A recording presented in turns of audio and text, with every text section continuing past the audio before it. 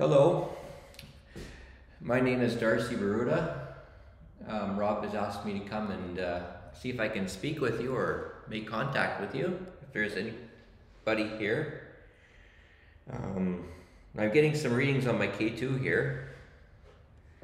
Um, are you okay with me being here? Can you light it up to two if yes? If you- It's saying something, so that's good.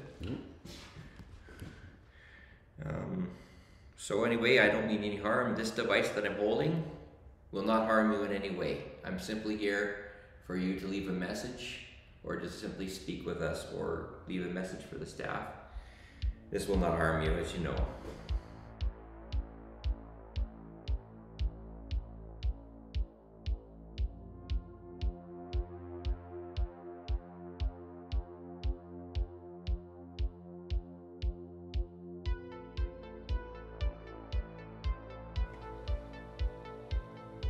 This is Peace Region Xposure with Blake and Rob Brown. I'm your announcer, William. Guests include Ghost Hunter Darcy Baruta, and we are out to 101 acres with Lincoln and Blake Frank. And now on with the show. Keep my wife's name out of your fing mouth. Peace Region Xposure. Here we are, your penultimate ninth episode. Count them up. Blake and Rob Brown here. We're coming at you from 101 Acre Woods, just north of Mile Zero. First rains of 2023 are putting out a lot of the fires in the region as well. This week's guests include our continuing interview with Dan Ball about the Canadian legal system. Of course, we've got an interview with proprietor here, Blake Frank, great first name. And as well, we've got an interview with local Mauser of ghost hunter, Darcy Baruta. Get, Blake, we've got some of the other segments we've grown to know and love. Who do we've got this week in our second last episode of Peace Region Xposure? We have another twin with Nolen Yep. and a minute with Portland. What is it? And you're absolutely right. With Devery, Miss Devery, and Cameron Palfy. And of course, we're going to bring back Marvel Hawkeyes, Alex Paunovic, bro, in another Marvel minute. But right now, on with the show, episode 9.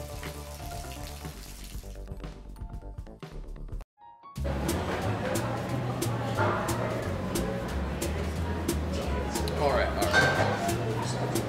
All right, all good to go. Good to go.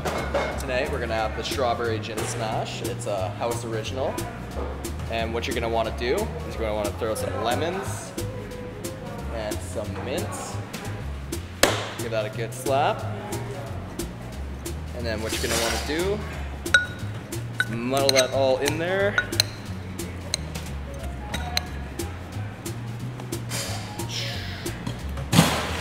Add some ice. There's strawberries in there. What you're gonna want to do is add an ounce of lemon juice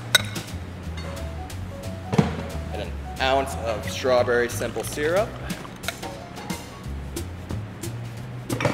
You want to top it up with soda.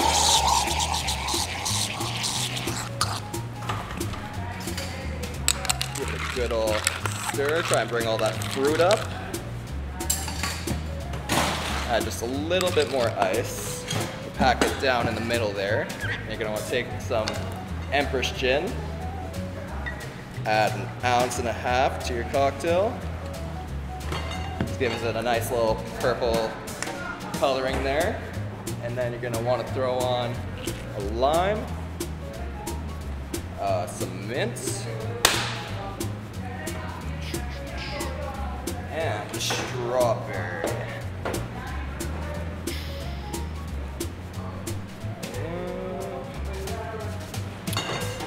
We go.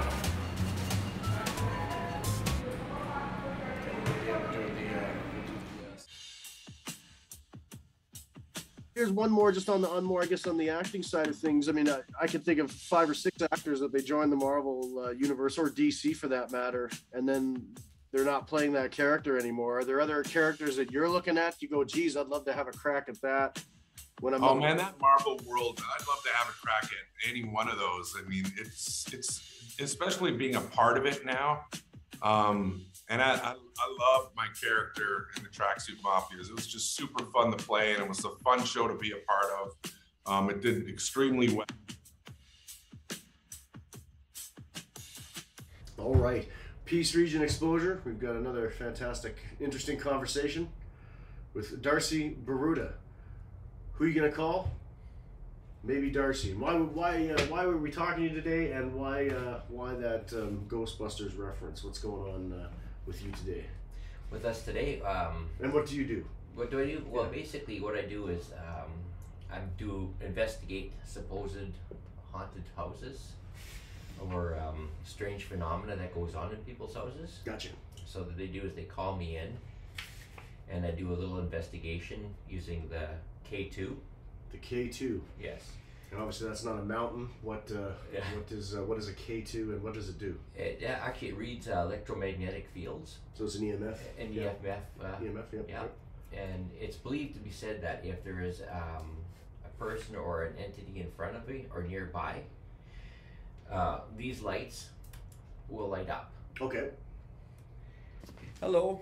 Um, I don't know if you're the same uh, person or persons that was with me five minutes ago in the archives room, but um, Rob says he hears hears some noises, what sounds like footsteps and going on in here. Um, could you come uh, come close to me and you can yank on my shirt if you don't want to do this, but uh, the machine. Um, nudge me or come in front of this device that I'm holding, it won't harm you. And could you light it up to the first notch if you are here? The first, the second light for for us? Yeah. So is it on now? it's on now. So we'll see if it lights up while during our conversation. Absolutely. There we go. Lord knows this is an old building. Now you mentioned residents, and you get a lot of obviously people reaching out to you. Um, Yes.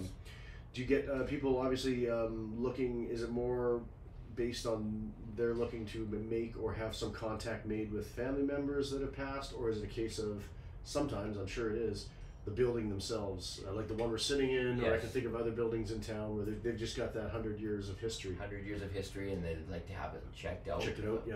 Basically, it, it's different. It varies every time I do an investigation. Okay. Like, and uh, a lot of the times, the main reason why I like to do this is um, if somebody calls me in, and Mhm. I've had a friend do this one time before, and he actually found out that it was uh, a poison gas leak in their house. Okay. Like the currently at the time. Yeah. So he thought he heard something, Something an apparition, if you will, and then it's, yeah, things move, but it ended up being a carbon monoxide leak. Okay. and uh, my my partner actually saved their life. Yeah. Because he found out that's what it was, got everybody evacuated right away, and, and brought in the proper team. So yeah, a different kind of exorcism, Yeah. if you will. Tools. What other tools are there? And- you know, to to measure um, these sorts of activity. Well, there's something called a Gauss meter. A Goss Gauss meter. Okay. Yeah. And is that named after somebody? A G O S S Goss meter? No. No? Okay. It's just the name of the product. Oh, is that right? Yeah. Okay. And what does the Gauss meter do as far as measuring? It pretty much does the same thing as the K2, Okay. but it's, it's a it's almost like a gauge, I guess, if you will. Okay, so With a needle, it spikes up and Oh, down, okay. reads temperature fluctuation. of the room. Of the Temperature room. Okay. Yeah. And uh, one of the other instruments I use is an infrared gun, Okay. Okay. Yep. and it also reads different measurements, and uh, it's got a little TV on it. A temperature. A temperature. Or uh, just to make it colloquial, people that are familiar with the movie Predator, that type of vision. Uh, that yeah, that's that a good way to just Okay. yeah. exactly. So you, it's going to light up if they're throwing more heat than. Yeah, and then in the cold spots are Yeah. the ones you want to look for. Yeah. And then um, I understand there's also something that measures, uh, you know, the what we'll call the um, the snow or the, the, the, the white noise on a, on a. Yes, that's called a ghost box. Okay. Thanks for bringing that up. Yeah. it's a ghost box, and basically what the ghost box does is it surfs through um, radioactivity is really quick. So quick through um, Through the FM or the AM dial. yeah through the Okay. FM radio dial, and basically what you're listening for to that is a whispering noise, Okay. and the whispering noise is what they call the white noise. Yes. Okay. is what the entity or, or the person is communicating with you from there. And is that a case of uh, it being one one or two words coming through the white noise, or is it phrases and whole? Sometimes it Yeah. can be phrases, Okay. or sometimes it can be one one voice. But I'd have to say the one that stands out would be the Heart Hotel in Goose Is where I felt um, a nudge on my shoulder and got lots of disembodied voices. Is that right? Yeah. Yeah. Okay. A lot of action there. A lot of action Yeah. there. There was actually one point where I was up in one of the rooms investigating, and I was up on the second floor myself because Okay. it's deserted now. Yeah. Yeah. Yeah. Walking through one of the rooms, and what I thought I felt was kind of some somebody or something pushing me my shoulder against the wall like this, so leaning me. Boy, that was pretty interesting, and I wasn't even touching Yeah. it. Yeah. I was going to say, just looking for a light switch in here. Sure.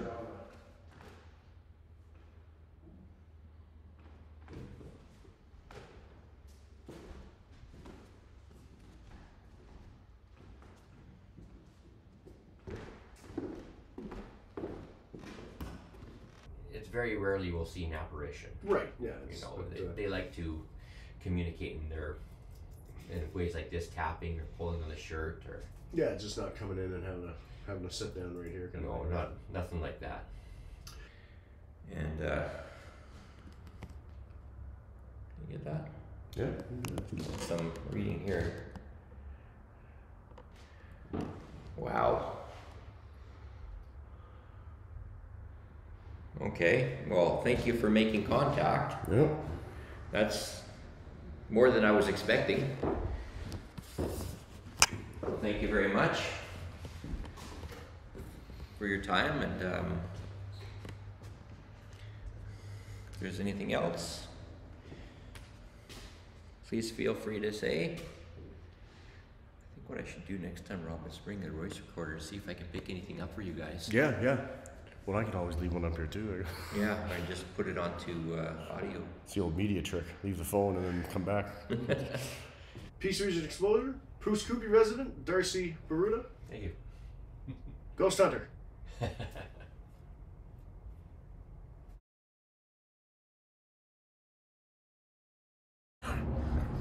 Because we need horses, we need trees, we need tents that are made out of hemp. And yeah, we should kill that newspaper guy because he kills lots of trees. Peace Region Xposure, Rob Brown here. We've got a, another fantastic interview with fantastic people of the piece. We're up the 225 Watson Road, just north of Dawson Creek at 101 acres here, and we've got, of course, our owners and proprietors, Blake and Lincoln Frank. So, what's going on when uh, people say 101 acres? What's going on out here? Quite the facility. 101 Acre Woods is a new event venue. We do weddings, birthday parties, reunions, wakes, and even camping. Quite the mix. Yes. Reunions and wakes and weddings and camping. Yes, uh, yeah, we're ready you for cover it the whole spectrum. Yeah, yeah, totally. Yes, yes. Birthdays to when you're done. Yeah, yes, yeah, yeah, yeah. But certainly, certainly for the summer months and and and uh, you know when uh, we're up in the peace, we take advantage of the, the limited summer months and, and the warm weather we do have. Yes. That camping and RV option is something that is lacking, um, and certainly not lacking, but uh, certainly not enough of up here. Obviously, uh, something Yes. you're uh, looking at uh, with some of the grounds out here. Yes, totally. We're, uh, we're expanding our campgrounds and just trying to host as many people out here as possible. And and uh, and a throwback to something certainly I'm the oldest of the three of us, but before my time is the the idea of that community hall. Um, that is something that is getting lost with uh, certainly people older than uh, me. But certainly when you have that community hall facility and that component here, that's a, certainly a throwback to It's- a, a gathering of another time, right? Yeah, yeah, totally. It's a centerpiece and hosts about hundred people in Nice. there easy. It's beautiful. It's it's usually cool all all the time around, and um, it's we can host pretty much as many people as we want. We can open up the barn doors and have it all open to everybody. And uh, you know, a modern day community hall, of course, you got music banging and uh, Wi-Fi access and everything that comes with uh, a modern facility as well. Yes, yeah, yeah. We got Wi-Fi six. We got 4K cameras for uh, recording all your events. We're up with the Joneses. There you go. There we go. Absolutely, the Franks and the Joneses. Yes, And of yes. course, unless there's a uh, provincial or local fire ban, campfires aplenty. That's right. Yes. There we go. Yeah, music, fire, lots of fun. camping to stay overnight. There we go. 101 acres. Check it out. Up the Watson. 225. Peace Region Xposure. Make your traditions here. Yeah, traditions are made here. that uh, you can put a, take him to small claims court Sure. Yeah. and maybe put a lien on his car Great. or put or put or guarantee his wages. But Yeah. Guaranteeing a wages a lawyer's wages.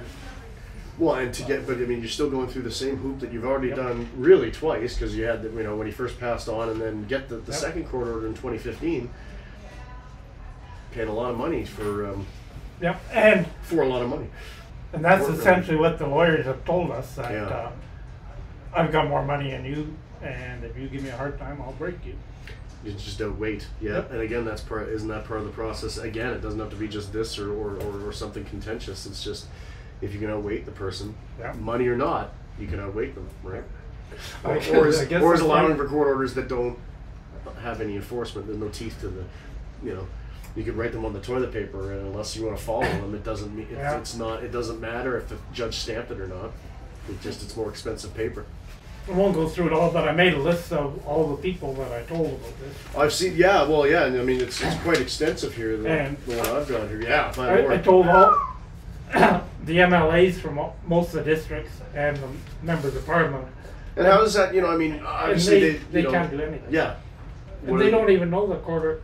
The, our members of parliament don't know that court orders aren't enforced. Well, and in their defense, they probably don't get in court that much themselves, right? So how, you know, it's a situation where Yeah. they really don't know until they know. Same with me. I didn't realize until you know I've had one signed, and then the, I never even had RCMP go. Yeah, we can't. There's nothing to enforce here because it doesn't say that we can go if it's broken and enforce it. And Yeah. it's amazing that that is such a, to be quite honest, a loophole.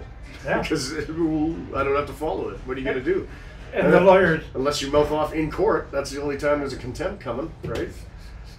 and You're not supposed to. That's the, you know, I'm sure most bank managers know how to rip their own bank off. The trick is that's why they're hired there. They're bondable and they're honest and they don't, right? Like, and there is mental health issues in there. The, the girl that was living there. oh yeah, but here nor there with this, right? That's yeah. And what did happen, Michelle was going through the police and she filled out a Freedom of Information form. sure.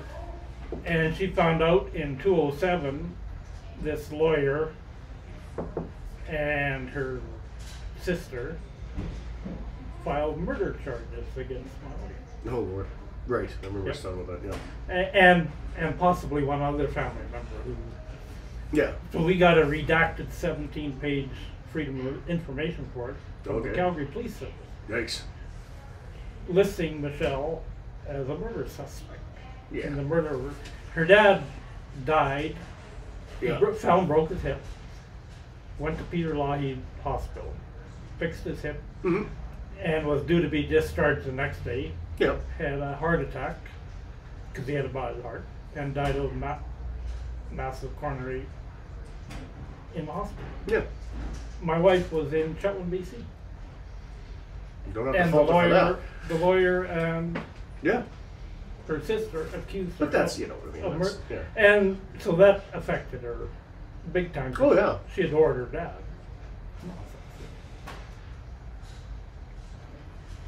So mental health issues are Oh yeah. uh, are in the family. Oh yeah, but that you know, not something age related or to be taken advantage of, right? I mean, that's Yeah. that's nonsense. Yeah. So. Dan Ball. Thank you. No, yeah, absolutely. Like, uh,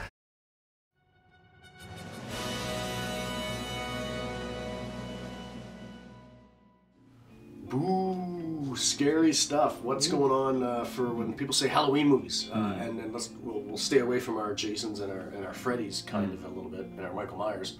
But uh, as far as a Halloween uh, movie or series. Uh, what jumps out uh, and gives you the scares, either as good flicks or, or just scary movies? Uh, I feel like um, a very underrated Halloween movie is Trick 'r Treat. Um, That's great. um, it, it should have been uh, turned into a franchise, but for whatever reason, it's been stuck in development hell. Um, it's uh, sort of uh, uh, an anthology about different Halloween stories taking place on the same night. Uh, so it involves like ghosts and uh, uh, slasher killers and and um, and werewolves, and there's this um, I can't remember the, the the character that had he has a pumpkin head. Maybe his name is just Pumpkinhead, but um, that's their sort of like horror icon for the movie, and it's it's really really funny. It's a great horror comedy. certainly has um, uh, remnants of like Raimi and uh, and Carpenter in there, um, and I think it's just a fantastic, highly creative, uh, really really fun Halloween movie that you can watch every year. Very good. Uh, I'm gonna pick one uh, again, uh, going back 40-ish years. Friend of the friend of the show, Don Coscarelli's Phantasm.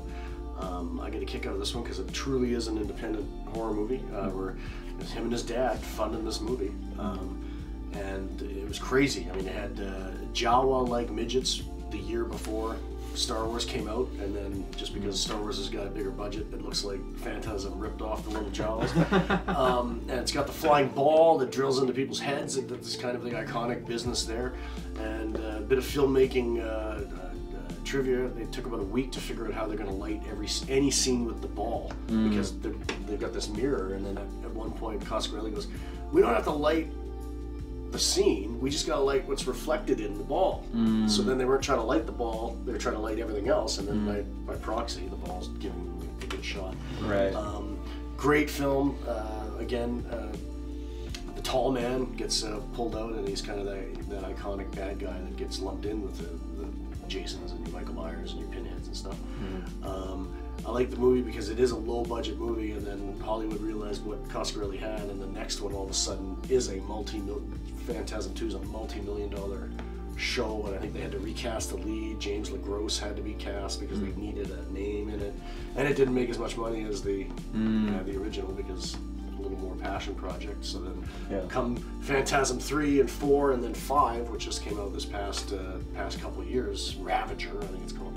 Um, much more low budget, much more focused on um, old school effects, and uh, great film. I'm gonna we're gonna have to ADR the guy's um, name in, but one of the greatest child um, actors performers I've ever seen. His name is actually Michael Baldwin, not one of the Baldwin brothers, but uh, his stuff as as the kid in the first one. And then he was in a, a couple other early Coscarelli flicks. He's a great child actor uh, and should be up there with whoever else is considered a, uh, Mhm. one of the great child actors of all time. But, Yeah. uh, check it out, Phantasm. The ball is back. If it don't scare you, you're already dead. I think was the tagline on that. Or something. So, It's a great tagline. That is a really So good creative. tagline. yeah. Um, one of my favorite franchises uh, is is one that evolved over time. Um, it's, Superman. Yeah, Yeah. Superman. I, I. That great, fourth one is great scary, Halloween yeah. movie. Yeah, it's scary that it got made. Yeah. um, uh, Evil Dead. I love the first one. I love that it's got this raw quality to it. That it just feels like it's a bunch of friends that went into the forest and they wanted to make a horror movie. Um, and I especially love that the sequel, Evil Dead 2, um, completely changed genres. Like it completely changed tones. Uh, it went from serious horror in the first one to a horror comedy in the second one, um, and it kept all of the best elements of the first one. I imagine the budget probably got increased for Oh, the second one as yeah, well. because of the definitely. Phantasm, yeah. Yeah, yeah, Definitely. Yeah. Um, and then in the third one, it just became a parody of itself. Mm. And uh, the third one is uh, Army of Darkness, and it is just an incredible film um, in every respect.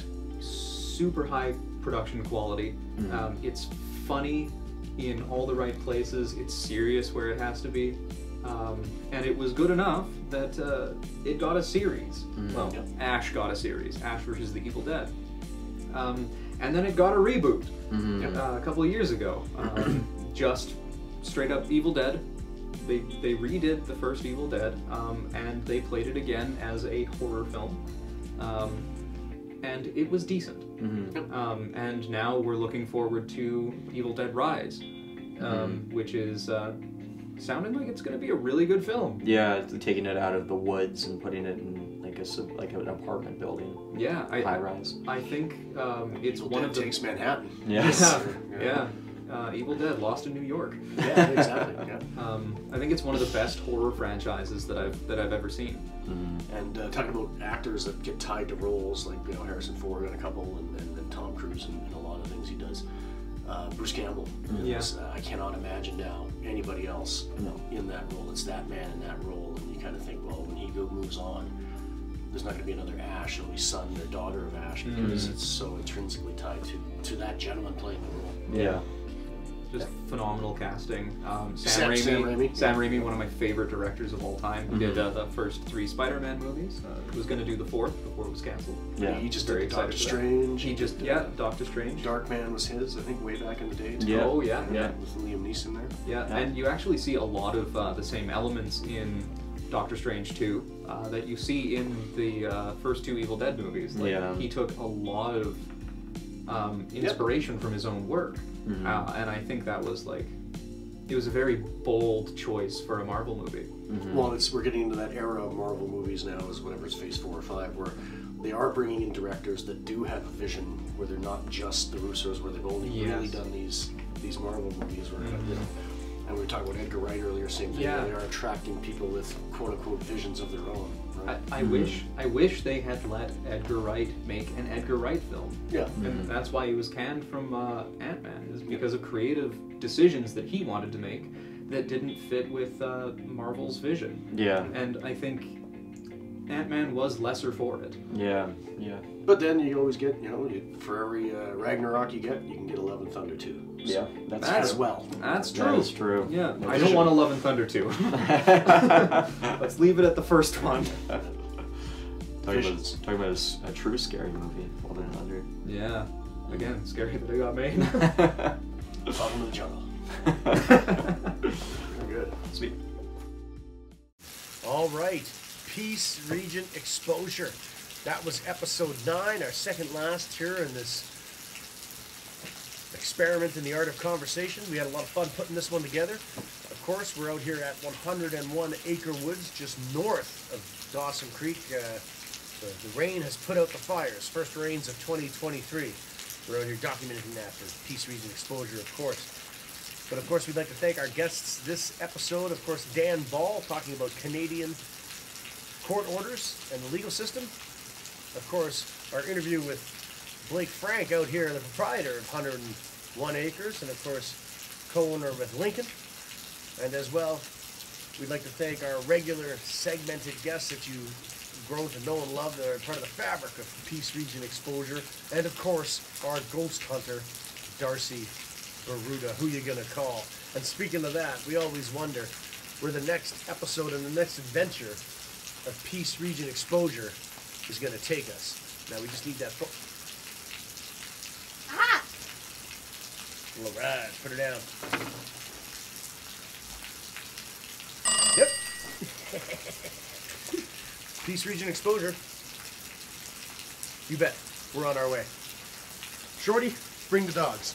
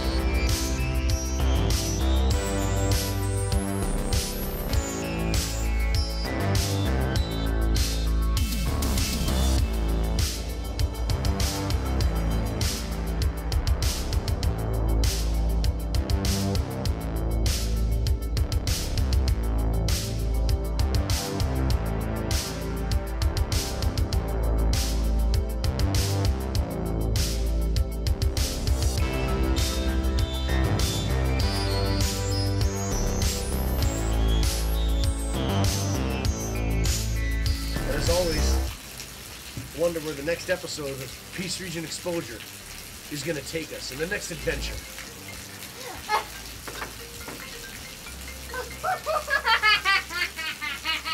that was perfect. Hey, buddy, how's it going? This is Peace Region Xposure with Blake and Rob Brown. I'm your announcer, Will. Keep my wife's name out of your fing mouth.